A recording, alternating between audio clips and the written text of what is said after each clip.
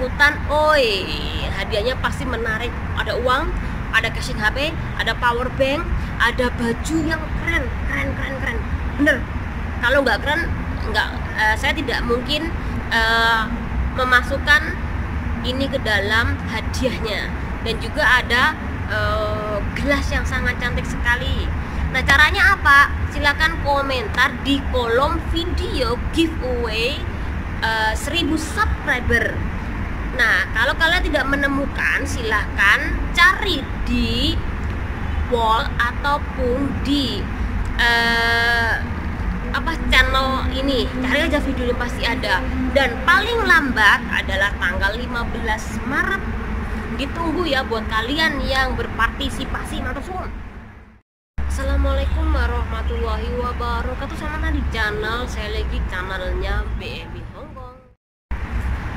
Jangan lupa seperti biasanya di subscribe channelnya kemudian di share videonya jika menurut kalian konten ini bermanfaat. Nah kali ini kita akan membicarakan berita tentang eh, Mbak Indonesia yang di mana melakukan eh, pencurian di tempat jasa pengiriman barang atau jasa ekspedisi yang di mana berada di area pos WB dan mbaknya itu eh, ketahuan ketika dia itu eh, menjual barang-barangnya ke orang lain dengan jumlah eh, banyak. Ya artinya mbaknya itu mengambil barang sampai 80 box. 80 box rek. Bayangkan berapa banyak itu. Yaitu sebanyak lebih dari 6000 lembar bayangkan. 80 box kita mikir aja 80 box itu berapa karung ya rek? Hampir tiga karung ya? Eh, hampir sekarung aja paling ya ba- banyak banget ya karungnya pasti ada lima enaman ya.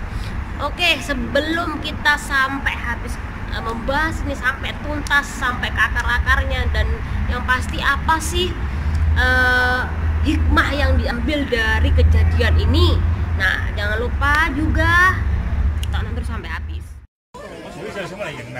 诶记者啊哦记者。影完 OK OK OK 我 OK。想问你，边边边间嘅？东方啊东方东方讲嘅。即系系啦，系啦，可能嘅系。到时我哋可能有。我觉得佢唔系咯，佢咩咩头头头头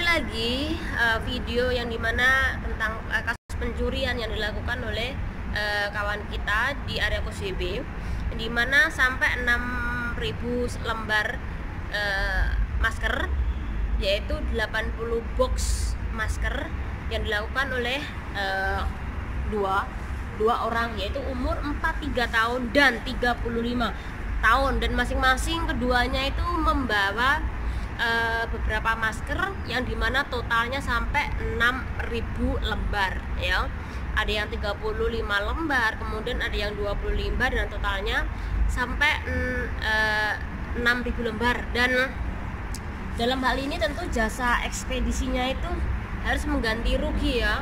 Dan pasti berapa sih yang harus diganti total kerugiannya yaitu sebesar 40 eh 14 eh, 500 dolar Hongkong bayangkan 400 dolar 14 500 dolar. Hongkong itu setara dengan eh, 30 tiga- itu 27-an juta ya 27 juta hampir 30 juta lah setara itu.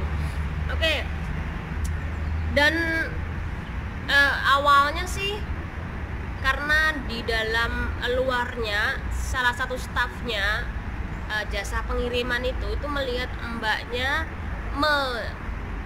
menjual masker secara banyak. Nah kemudian dari curigaan itulah karena mbak diduga mbaknya eh, pasti mengambil barang di tempat pengirimannya. Jadi dilaporkan eh, kepolisian ya. Akhirnya kepolisian langsung datang ke tempat tersebut. Nah di dalam kasus ini mbaknya itu pasti dijerat dengan pasal eh, dengan modus penipuan dan pengambil pro properti orang lain ya.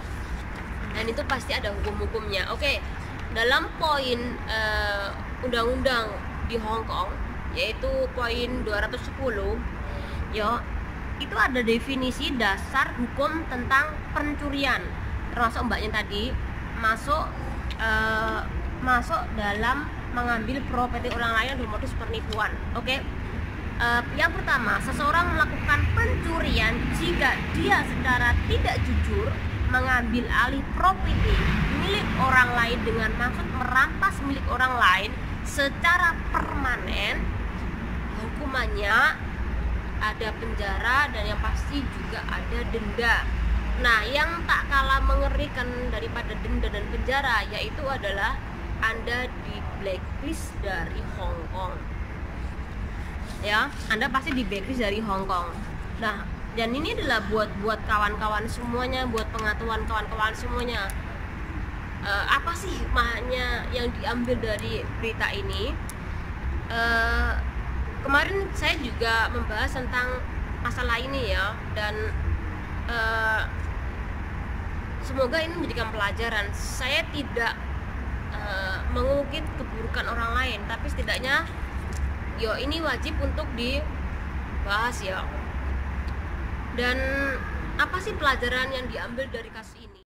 Nah oke okay, kawan apa sih pelajaran yang diambil dari kejadian ini uh, yang pertama kita melihat dulu lah kasusnya yang bagaimana oke okay, kasusnya mencuri tetapi dia itu dipakai sendiri atau dijual nah Oke, kalau dipakai sendiri, mungkin mbak-mbak itu akan ngerasa bahwa oh kasihan. Mungkin banyak orang yang akan merasa kasihan ya. Bahkan banyak orang yang akan memberikan. Tapi kalau mbaknya itu dijual, maka Anda akan menerima akibatnya, yaitu Anda akan dipermalukan. E, wajah Anda itu akan e, terlihat sangat jelas sekali, kemudian di-share ke mana-mana oleh kawan-kawan, kemudian di maki-maki dan itu malunya sampai seumur hidup pasti ya. Sekali lagi buat kawan-kawan untuk diperhatikan bahwa uh, ingat all bahwa banyak orang yang butuh masker itu jadi jangan sampai kita melakukan pencurian lah karena masker itu uh, itu adalah masker di mana perjuangan kawan-kawan untuk membeli dan perjuangan orang-orang di Indonesia ya untuk mencarinya. Jika Anda butuh, Anda bisa meminta kepada kawan-kawan di Facebook. Pasti kawan-kawan itu akan memberikan masker. Tahu sekali bahwa banyak sekali donasi masker buat kawan-kawan yang tidak punya masker. Jadi e, kalau tidak punya masker, silakan Anda e, minta. Oke, mungkin KJRI hanya memberi tiga lembar, tapi banyak sekali kok donasi dari kawan-kawan yang di mana mereka itu minta ke penjabat Indonesia untuk mengiriman masker walau tidak semuanya penjabat ini merespon tetapi ada sebagian penjabat yang sudah merespon dan mengirimkan beberapa box masker ya. Oke apa sih yang kedua yang bisa diambil dari pelajaran? Ingat sekali lagi sudah saya jelaskan berkali-kali berhati-hatilah di Hong Kong. Setiap uh, Anda melakukan kejahatan ingat di setiap toko itu ada CCTV-nya rek jangan sampai kita melakukan hal-hal bodoh. Aku anggapnya itu adalah suatu hal bodoh yang di mana seharusnya tidak kamu lakukan. Ya itu akan membahayakan anda sendiri rugi anda sendiri. Akhirnya anda akan di uh, blacklist dan anda di sini di penjara dan juga denda.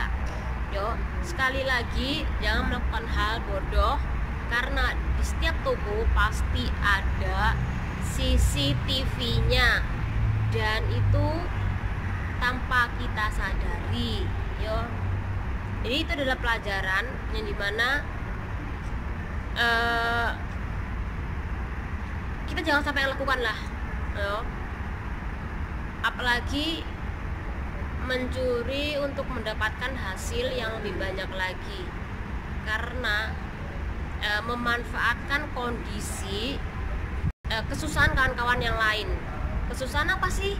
Ya karena kesusahan dengan cara uh, mencari masker. Betapa susahnya kemarin kawan-kawan tuh mencari masker uh, tidak ada stoknya terbatas yo. Kalau anda melakukan hal itu apalagi anda menjualnya ke orang Hongkong nah itu sangat sayangkan sekali. Oke, semoga ini bermanfaat buat kita semuanya. Dan sekali lagi jangan melakukan pencurian di negara ini karena ini sangat berbahaya. Tidak hanya penjara denda, tapi Anda akan di blacklist dan yang pasti malunya seumur hidup. Sekali lagi ingat CCTV, setiap toko itu pasti ada dan ingat jangan sampai melakukan hal itu lagi. Semoga bermanfaat dan yang pasti jangan lupa ikut giveaway di channel ini semoga kalian yang selalu aktif channel ini yang akan menang. Wassalamualaikum warahmatullahi wabarakatuh